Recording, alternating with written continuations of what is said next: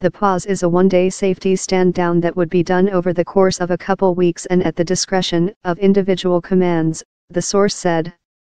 The operational pause comes in the wake of the USS John McCain's collision with an oil tanker east of Singapore early Monday, the fourth accident in Asian waters this year.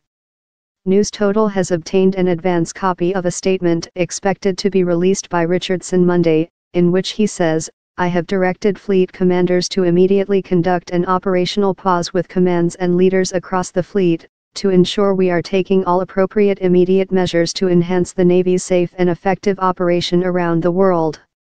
This is the second major collision in the last three months, and is the latest in a series of major incidents, particularly in the Pacific Theater.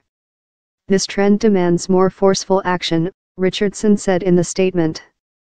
Richardson has also ordered a comprehensive review into all potential factors contributing to the series of incidents. The commander of U.S. Fleet Forces Command, Admiral Phil Davidson, will lead the review. That review will examine the process by which we train and certify our forward deployed forces in Japan to be ready for operations and war, according to Richardson in the statement.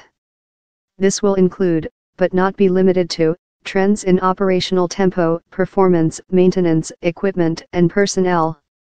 It will also focus on surface warfare training and career development, including tactical and navigational proficiency. Richardson promises a swift investigation in the statement. This review will be on a tight timeline, we need to get to the bottom of these problems and quickly make corrective actions, he says in the statement. I will get frequent updates as this effort proceeds, and will keep leadership informed as we learn more.